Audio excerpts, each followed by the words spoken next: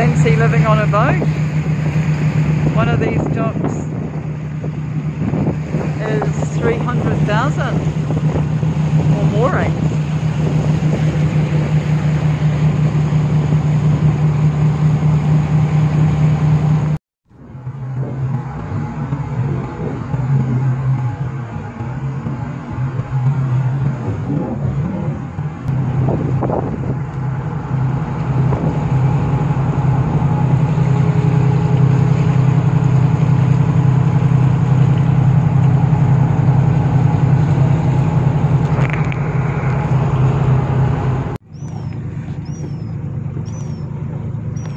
The bridge is going to open. Wow.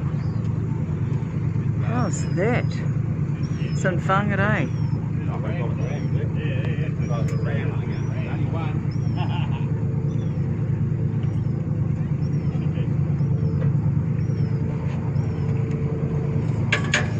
Wow.